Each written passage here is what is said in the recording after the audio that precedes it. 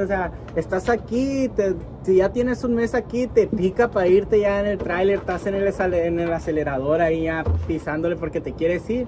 Y ya si está mucho tiempo afuera, también ya te quieres regresar, no puedes quedarte en un lugar o otro. Si acostumbras a vivir así de tanto tiempo. Experiencia de ser trailero. ¿Cuál es la mejor experiencia de ser trailero, papá? ¿Cuál es la mejor experiencia de ser trailero? Ay, son muchas. Pero yo creo que una de las mejores es que conoces todo, todo tu país o por unos cursos. Y el que me daba el curso era un mecánico. Entonces el mecánico me ponía una pantalla, me ponía pantalla una película de un gringo que iba manejando. Me acuerdo yo bien, porque fui a dos, a dos, a dos clases de esas. Me ponía y a ver cómo metes cambios por ahí. O sea, como lo metas tú, así lo voy a meter yo y te prometo que así lo voy a hacer. No, mejor amigo, es que yo no sé manejar. Ah, entonces, ¿qué estoy haciendo yo aquí contigo? Estás dando clases y no sabes. Estás dando clases de manejo y me estás diciendo que no sabes manejar, ¿quién eres tú? No, es que yo soy mecánico, entonces, ¿qué estás haciendo dándome clases a mí? Darle clases a personas para que reparen una máquina, no me des clases a mí, yo no sé.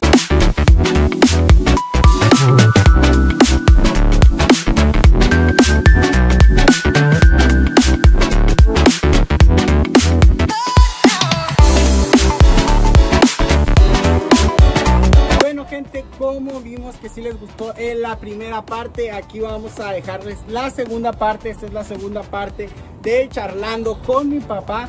Que ahí vamos a estar leyendo unas cuantas preguntillas. Y pues a darle, ahí miren el, el video. ¿Qué es pa? Porque sigamos a, a la meta de los 200 likes. Pues son bien poquitos, son poquitos para ti eso, Ya estás acostumbrado al nivel de Magola, Así es. que, pide, que pide miles. Ah, pues sí, pero pues nosotros somos bajitos, para allá vamos. Si la gente nos apoya, comparte, ahí da like, se suscribe al canal, vamos para allá, pa, poco a poquito. Bueno, ahí está el, Bueno, y pues ahí como lo saben, la segunda parte. Y el primer carro que agarraste con mi tata, ¿cuál, cuál fue el primer trailer que te dio mi tata? ¿Fue uno viejito, uno normalito, uno más o menos? El primer carro fue el primer carro que compró él. Era un Kangol igual T800, igual que este. Sí, T800. Igual que este. Así, pero era, era viejito ya, de los primeros T800 que salieron, no me acuerdo el modelo. Si era como 92, me parece el carro. 92, 93. Traía un camarote Kinsai. Ese fue el primer, primer carro que agarré con él ahí. El primer camión y ahí lo anduve, lo traje varios años muy a gusto. Ya fue cuando mi papá se retiró de los trailers, se bajó de los trailers. Él, él, de hecho, él traía el carro ese. Él Entonces él compró los otros, pero él andaba en el mismo carro. Sí, él andaba en el mismo hasta que me lo dio a mí. Y empecé a trabajar yo con él ahí ya para... Yo nunca había trabajado para Monterrey. Fue cuando me empecé a echar los primeros viajes, porque aquel trabajo nosotros era puro Mexicali o cuando cargamos en, en Visura, ahí en su carne. O cuando trabajamos acá para México, en Navachoco. Entonces empecé a trabajar con él y, tuve que empezar a buscar viajes, ya no fue lo mismo que allá, allá me buscaban los viajes, ellos cobraban los fletes, todo. Y cuando empecé a trabajar acá por este lado, ya empecé yo a buscar los viajes, empecé a cobrar los fletes, empecé a hacer todo como si fuera yo el, dueño del camión ya, pero pues ya me complicaban más las cosas. Me tuve que enseñar y empezar a correr para todo el país ya. Para donde me saliera viaje, nomás tratar de que hubiera viaje de regreso. Si había viaje de regreso, vámonos para allá. Ya te aventabas unas escalas a veces, de me voy para allá, de ahí para allá, de ahí para allá. de repente sí, llegué a durar más de un mes en venir para casa. Casi todo el tiempo yo he tratado de llegar, venir a la casa, viajes y volver a la casa, ¿no? Pero, pero sí, o sea, ha llegado el momento que pues la vez que más... duraste sin venir a la casa, sí, que duraste un montón, que te aventaste una escala grande. Un mes, yo creo, un mes, un mes y medio ese caso. ¿Cuántos viajes te aventaste en esa escala para regresar? No me acuerdo, ¿lo acuerdas? Sí. Más o menos, unos cuatro. Pues tal vez sí, pero porque pues no sé por dónde me los senté ahí. Una vez que estuve trabajando en Sayula, Jalisco. Ahí estuve trabajando y, y ahí me aventaba de Sayula a Monterrey y de Monterrey me devolvía a Guadalajara. Y ya me bajaba otra vez a Sayula. Y otra vez así anduve trabajando yo creo que esa vez fue. Pero sí me estuve aventando yo que como dos por semana. Eran rápidos, era varios viajes me eché ahí. Unos, Se no fue muy bien. No unos ocho entonces. Unos ocho viajes. Pues yo creo que sí, si no que más. ¿Y, qué sentías? ¿Extrañabas la casa? ¿No, no la extrañabas? ¿No, te sentías solo? Sí, sí la extrañaba. Lógico, estaban ustedes chiquillos. Entonces tenía que extrañarla. Es más, hace poquito, ahora que trabajé en los mangos, Duré otra vez, que más de un mes fuera otra vez. Como un mes sin venir a la casa. Puro Michoacán, puro Nueva Italia. Estamos cargando mango de Nueva Italia al Rosario, Sinaloa. Y me aventé más de un mes sin venir a la casa. Y, es gracioso porque tú te acostumbras a vivir así ya, pa, o sea, estás aquí, si ya tienes un mes aquí, te pica para irte ya en el tráiler, estás en el, en el acelerador ahí ya pisándole porque te quieres ir. Y ya está mucho tiempo afuera también ya te quieres regresar, no puedes quedarte en un lugar o otro. Te acostumbras a vivir así de tanto tiempo. Así, te va acostumbrando, está haciendo vago uno, porque está muy chiquillo de vago. Aparte que yo cuando andaba con mi papá cuando estaba antes de cuando estaba chiquillo me iba, me gustaba mucho irme de viaje con mi papá, con él, a dar la vuelta para Nogales, para San Potosí, me acuerdo que fui con él cuando estaba chiquillo, fuimos al Valle de Arista, varios lugares y me gustaba ir mucho con él, a Nogales me gustaba ir mucho, porque era la frontera y mirabas cosas diferentes, en ese tiempo había mucha fayuca y no había cosas que no habían aquí en México. Había dulces que no había, había chocolates, que es lo que estábamos platicando el otro día. Traíamos chocolate ahí donde he probado los chocolates, cereal, traíamos cereal que aquí en México no se usaba muy mucho, eran muy pocos los que había, de allá traíamos unos cereales diferentes. Y, pues aquí no lo había, pues si me gustaba ir, aparte cada vez que iba yo con él, me compraban algo, me compraban ropa, me compraban tenis, me compraban algo, cuando yo iba me tenía, que, me tenía que comprar algo, eso era lo más bonito, que comía fuera de mi casa, en los restaurantes, lo que yo quería. Estoy como yo que voy contigo. Y me compraban algo aparte. Como yo que voy contigo y ya nomás pasamos aquí en la carretera y hay que llegar al otro. Así es. Me compré un montón de cosas. ¿Qué va a decir la gente? Bueno, aquí vamos a, leer unas cuantas preguntas que nos pusieron ahí en la página de Facebook, en Instagram también. chequen las redes sociales, gente. Ahí ponemos a veces. Dice Diego, ¿cuál es la mejor experiencia de ser trailero? ¿Cuál es la mejor experiencia de ser trailero, papá? ¿Cuál es la mejor experiencia de ser trailero? Ay, son muchas. Yo creo que una de las mejores es que conoces todo, todo tu país, o por lo menos conoces muchos lugares. Muchos lugares, conoces mucha gente. Es muy bonito eso, por lo menos para mí es muy bonito conocer muchos lugares. Y más que en esa edad que empezaba. Si ahorita es bonito todavía, sigo conociendo. No termino de conocer incluso hasta cuando voy para, el mismo lugar que voy todo el tiempo, ya sea Monterrey o México, veo cosas diferentes. Pues todo eso es, es, yo creo que es una de las mejores experiencias eso y, hay muchas más, ¿no? Pero yo creo que es una de las más bonitas es eso. Que no estás en una oficina esperando que te manden, diciendo qué tienes que hacer. Aquí no, aquí te vas y te olvidas, por lo menos ahorita en el empleo que ando yo ahorita, antes me mandaban y no había ni teléfonos. Así que me decían vas a México, me iba y hasta que no llegaba a México. ¿Y si te perdía? Hasta que después tenía que buscar un teléfono, pero no tenía que traer celular como ahora. Antes tú cargabas y vas a México y hasta que llegaba a México, ya que llegues a México me hables ya otro día en la mañana, le hablabas, ahí ya estoy aquí, agarras tu tarjeta y ya marcabas.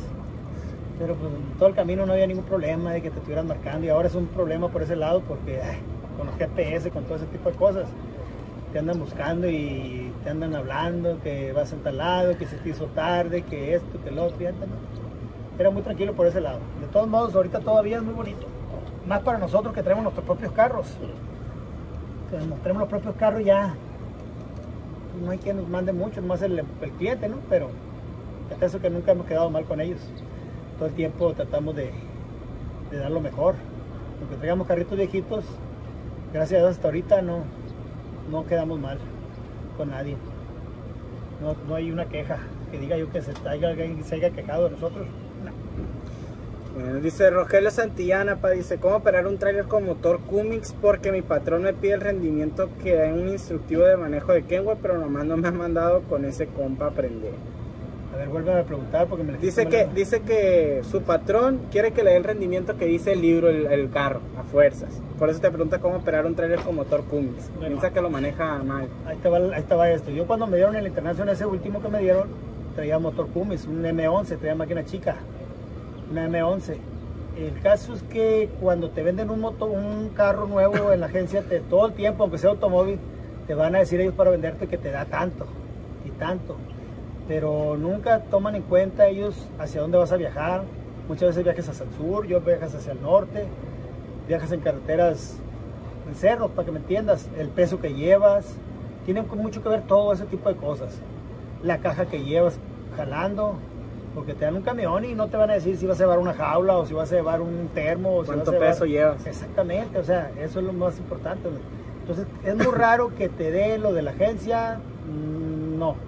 Cuando yo agarré ese camión, a mí incluso hasta me mandaron, el patrón me dijo, vaya ya a Guadalajara, unas clases que van a dar ahí, me fui yo a unos cursos y el que me daba el curso era un mecánico.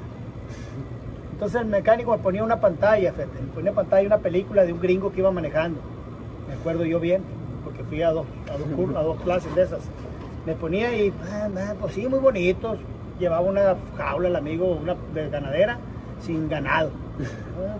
No, dice, así tienes que manejar, mira, él llevaba un Kengo, yo tenía un, yo me andaba un International. Para empezar ahí estábamos mal, porque no eran igual los carros, no tienen la misma aerodinámica los carros, no tienen la misma forma, desde ahí está mal. Y ahí van, amigo, sí, todo se ve muy bonito ahí, Pero ¿sabes cuántas toneladas traigo yo ahorita? Porque yo me iba cargado de aquí, iba para México y llegaba al curso ese, de paso, allí por la, Lázaro Cárdenas. Le digo, vamos haciendo una cosa, Tú me tienes, quieres este, enseñar a manejar dice que por eso no hay el rendimiento, que porque yo no estoy no sé manejar el camión. Bueno, le dije, vamos y enséñame cómo se maneja de aquí a Zapotanejo, y de Guadalajara a Zapotanejo, y subiendo, pasando Zapotanejo hay unas subidas pesaditas, yéndote por Atotonilco. Pues le decía yo, enséñame a manejar cómo metes cambios por ahí. O sea, como lo metas tú, así lo voy a meter yo y te prometo que así lo voy a hacer. No, mejor amigo, es que yo no sé manejar. Ah, entonces, ¿qué estoy haciendo yo aquí contigo? Estás dando clases y no sabes. Estás dando clases de manejo y me está diciendo que no sabes manejar, ¿quién eres tú? No, es que yo soy mecánico, entonces, ¿qué estás haciendo dándome clases a mí? Darle clases a personas para que reparen una máquina, no me des clases a mí, yo no sé qué estoy haciendo aquí. Ya fue cuando yo platicé con el patrón, me dijo el patrón, no, usted maneje como pueda, dijo, no le hagas caso. Yo lo mandé, dijo, porque la agencia está chingui chingui que, que lo mandara, dijo, pero usted maneje, porque ahí me decían, deja morir la máquina tantas revoluciones, que esto, y yo le decía, no, dejo morir la máquina y se me hace que, que voy a tronar la máquina. Entonces la manéjela como usted sepa. La respuesta es maneja tú a tu modo y si le gusta el patrón bien y si no también porque no te van a dar el rendimiento que dice. Exactamente, o sea, el rendimiento va a ser muy difícil que se lo dé. Es muy dependiendo de lo que traigas y las subidas, para dónde vayas y todo, entonces... Trata de manejar lo mejor que se pueda, lo mejor que te digan en la agencia, sí, porque ahora los motores nuevos, esas son las cosas que traen, las máquinas inteligentes y todo, pero, pero no, no, nunca le va a dar el rendimiento que le dicen las agencias. Eso hasta ahorita yo no me ha tocado que un chofer diga que le dio el rendimiento ese, ni en automóviles. ¿eh? Dice Esdras Miranda González, dice, eh, un saludo, papá, dice que si sabes manejar full o nomás has manejado sencillo. Eh, nunca se me ha ofrecido manejar full, no, nunca he manejado Pero nunca lo has agarrado ni nada. Mm, nomás de raite, pero nunca lo he agarrado, la verdad, nunca he agarrado un full. Bueno, sí agarró uno cuando estaba como de 15 como de 15 años, perdón, como 15 años y choqué ahí en Hermosillo. Al dar vuelta venía con mi hermano, con José Ángel, y venía con un full de, en el ABC. Y ya venía muy contento yo de allá para acá, metiéndole cambios ahí. Ya en la última vuelta ahí para salir de Hermosillo, para agarrar la carretera internacional en aquel tiempo, pues todavía no. Llegas y topas ya para la salida de Hermosillo y das vuelta a la izquierda, viniendo de Nogales. Teníamos vacíos. Y me di vuelta y estaba un camión parado en el semáforo y con la cola, con la caja de atrás le alcancé a pegar el guarafango y le quebré. ¿Y desde entonces te quitaron la gana de manejar full? No, pero pues ya no se ofreció. Pero no es nada de otro mundo, no creo que sea nada de otro mundo. Cualquiera que ya maneja un camión con una caja es fácil, pues. O sea, sí tiene su chiste, pero, pero ya, ya no, creo que sea muy difícil. Para mí, pues ya que, que ya aprende uno exactamente. Alejandro Barba dice, es como, ¿cómo puedo empezar desde cero? Dice. ¿Cómo puede empezar desde cero? Pues así como yo, vaya mi vida en mi video, el de eh, manejando trailer por primera vez, ahí estamos empezando desde cero. Claro que sí, metiendo primer y segundo en la calle, ¿va, Bueno, así es, pero ya ves, le pasamos bola, pero sí, tiene que empezar desde cero, así tiene que ser. el problema muchas veces es que no tienes la oportunidad porque no tienes un pariente, no tienes alguien que te enseñe, pues. Y ahorita es muy difícil que alguien te enseñe simplemente nomás por las comidas, porque tú te, vas a ir con él y te tiene que pagar las comidas. Entonces desde ahí ya sale caro pagar las comidas de y aparte llegas a las empresas y no dejan entrar más que una persona, no quieren que entren dos, entonces muchas veces que se tienes que quedar afuera en la calle y si trabajas de noche, si te cargan de noche, ahí te tienes que quedar toda la noche afuera. Entonces ese es el problema ahorita. Entonces, eh, pero sí, echándole ganas. En aquel tiempo muchos plebes se iban y limpiando vidrios y checando llantas, iban a nogales y Yo los miraba que le echaban ganas, mucho plebada, y ahí andan de traileros ahorita.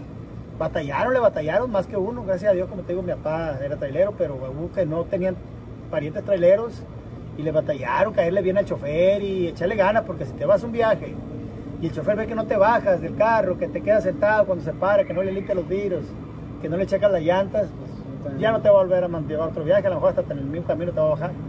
No, pues tú sabes que no sirve, tienes que como ir a comerte, ayudar. Lo más que se pueda, lo más que se pueda, exactamente. Dice Alejandro, Ar Alejandro, Dice, ¿es de, lo que, ¿es de los que solo juzgan los errores de otros traileros o es de los que en lugar de juzgar ayuda? Yo, la verdad, pues es que está mal decir que uno ayuda, pues. Porque van a decir, ah, presumido, pero sí, yo la verdad, todo el tiempo he tratado de ayudar a los choferes nuevos que van empezando, porque yo me acuerdo cuando yo empezaba, a mí me ayudaron muchas veces. Muchas veces, me acuerdo que ese fansa que les dije hace rato, una vez se me fregó la horquilla, llevan horquillas esas transmisiones digamos la 1 y la 3 trabajan con la horquilla esa, la 2 y la 4 también. Entonces a veces me fregó la horquilla cuando iba a Mexicali. Me acuerdo que iba muy asustado, era del segundo o tercer viaje que se me había quebrado la horquilla de la transmisión. Iba muy asustado y me acuerdo que le preguntaba a un chofer y le preguntaba a otro y todos me empezaron a decir que era la horquilla, que no pasaba nada, que nomás manejara la transmisión con la palanca, que no le metiera la uña pues, porque le metía la uña y se veraba ahí, empezaba con su madre la transmisión y ya no entraban los cambios no me miren la palabra ahorita como se dice, pero ya no entraron los cambios. Entonces, si la llevaba con la pura palanca, no había problema. Y como iba a Mexicali y no había subidas pesadas ni nada, y, íbamos livianos, como les dije, pues así me la llevé. Primera, segunda, tercera, cuarta y quinta eran todos los cambios que metía. De uno a cinco cambios nomás.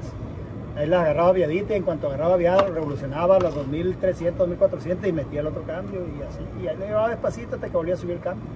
Pero como te digo, a mí me ayudaron varias veces. Por eso tú también ayudas. Sí, cuando puedo ayudo. No te digo que todo el tiempo ni que soy un, alma de Dios, pero en lo que puedo sí ayudo. Con última pregunta dice Jesús Balcazar, ¿qué es lo más difícil de ser trailero? Lo más difícil de ser trailero es que no estás en tu casa. Lo más difícil de ser trailero es que no estás en los velorios. Lo más difícil de ser trailero que muchas veces ni en los bautizos que tú eres compadre estás, que no llegas. Eso es lo más difícil que no estás con la familia. Tienes que sacrificar unas cosas para otras. Y eso es lo más difícil. Entonces el que está en la oficina me va a decir, ah, pero yo sí estoy en los velorios, estoy en las fiestas, estoy en los bautizos. Tienes razón, tú estás ahí todo el tiempo. Y el trailero no. A veces no podemos estar. Tratamos de estar, pero a veces no se puede. Eso es lo más difícil. Perdemos mucho tiempo de estar con la familia, de estar con los hijos. Por eso cuando estamos con los hijos, tratamos de disfrutarlo, hasta eso que eso es otra cosa. Cuando estamos con nuestros hijos, cuando estamos con nuestra mujer, tratamos de disfrutarla, tratamos de disfrutar los hijos, de vivir la vida mejor todavía. ¿Verdad? O sea, esa es, otra de las cosas. lo más difícil es eso. Dice, ¿qué pasa, Joel? Saludos. Atentamente es el Borregas. Borregas. El Borregas, ¿quién es el Borregas? El Borregas es un camarada que anduvo conmigo de ayudante. ¿Otro ayudante? Era mi ayudante. No, no puedo decirme chichicle porque se, me va, se, me va, a enojar. No, no era mi chichicle, era mi ayudante. Anduvo conmigo de ayudante, traje muchos ayudantes en aquel tiempo. ¿Le ayudabas a mucho a enseñarle? Sí. de hecho, él ya sabía cuando subió conmigo y, y, otro poquito que se aprendió conmigo, aunque va a decir que no. Otro poco que le enseñé el canijo, porque estaba muy chiquillo también él también en aquel tiempo esa época. Su hermano también era trailero, tuvo dos, otro hermano aparte. Eran tres hermanos traileros. Entonces él anduvo conmigo y es un gran amigo mío. Eso sí, él lo sabe y, sabe que donde estemos, lo ayudamos, lo podemos jalar, llevarlo, traerlo. Si él nos pide lo que nos pida, se lo damos. Y, lo mismo igual con él. Nosotros sabemos que él también, conmigo y con mi hijo. Eh, ¿a cuántas personas más o menos tú has enseñado o has más o menos traído ahí de, ayudante como tú dices? Porque los ayudantes son para, para aprender, la verdad. Son más que nada se van de ayudantes porque quieren aprender, aprender una que otra cosilla, no, a lo mejor no todo, pero les enseñas poquito de perdida. Aparte de Javier, ¿a quién más se podría decir que medio enseñaste? Aparte de Javier, ¿a quién más enseñé? ¿Cuántas personas? Pues enseñé Carlos, una, el Armando ese sí no lo puede enseñar nunca, pobrecito. Si me está escuchando. Es como te llevo Armando contigo y no te puede enseñar nunca. Te trae como ¿Y si es trailero? No, no es trailero. no, no pudo, no se pudo. No, le hice mucho la lucha. ¿Quién más? Carlos, Armando, Javier. Y... ¿Quién? Mi compadre Toñito. Mi compadre Toñito anduvo muy poquito conmigo. Él no puede decir que yo lo enseñé. Él anduvo muy poco. Toñito? Eh, y un cuñado mío, pero no, no, yo no puedo decir que yo Toñito, esperemos irnos de viaje en algún momento con él también. Pero sí, como unos tres o cuatro, sí. Sí anduvieron conmigo aprendiendo. Como te digo yo, si tenía la oportunidad, los subía conmigo y los traía conmigo en aquel tiempo. Pero se podía, pues. Ahorita no es lo mismo, ya, ya no, ya no, ya pasaron, ya quedaron atrás esos tiempos que uno podía traerlos y darles comida y todo. E incluso les pagaba todavía, fíjate, todavía después que lo estaban enseñando les pagaba. Antes era mucho mejor pagado. Sí, ahorita que, que, se den gracias un chofer, una, una persona que se quiere enseñar que le den la comida nomás. Porque ya para pagarle ya, no que te den la comida y es muy difícil, es muy difícil ya. Bueno, pues esto sería todo, gente. Esperemos otro charlando ahí con mi papá. Podemos seguir haciendo estas cosas, que cuente unas historias ahí, que, se recuerde después. De igual manera, esperemos irnos de viaje con él pronto, en unos mesecitos más. De igual manera, ahí, si se puede, si mi tío quiere, si llega querer mi tío Toñito, no lo conocen eh, pues también si quiere y puede, pues también vamos a intentar irnos con él, con Javier cuando salga su tráiler y hay que bien perrón machín. También a ver si nos lo presta ahí para meter primera y segunda de perdida. Y enseña cómo va quedando el tanque. Mira, enseña cómo va quedando el tanque mi papá. Para irnos, miren. Miren nomás. Así estaba, así va quedando. Mire. Bueno, papá, ahí te miras, mira, ahí nos vemos ya. mira. Como espejazo, mira. Tan lástima que están rayados los tanques, ¿eh? están rayados, pero vean y vean el look. El así estaba y así quedó. Para que miren van que quedando. el pulimento. Para que vean que sirve el pulimento, lo que pasa es que no suben los polidores. No, pues si los de nosotros eh. quedaron más perrones, A ver, bien, mira. El mío quedó más chido. te asomas allá? No, ya la gente viene en el otro video y cuando estén en el trailer de Javier más Y esto es un llegue nomás que le acabo de, dar, ¿eh? El primer ah, lleguecito. el ¿eh? primer llegue, primer llegue. No, brapa. Bueno, pues esto fue Uriarte Trucking, gente. Ahí en el espejo nos miran. Muchas gracias por haber visto este video. Suscríbanse, denle like. ¿Y algo que decir, apa? Pues que le echen ganas los que quieren aprender. Le echen ganas y que no pierdan su sueño. Todo, todo se puede. Todo se puede. Y ahorita se están ocupando muchos choferes. Se están ocupando choferes para las empresas grandes. Y pues nomás hay que echarle ganas. Muchas ganas y, nada de tanta droga, hombre. La droga es lo que está dañando y tal a los choferes. Déjense de tanta usar drogas. Ya escucharon, gente. Eso es todo. Esto fue Arte Trucking y bye.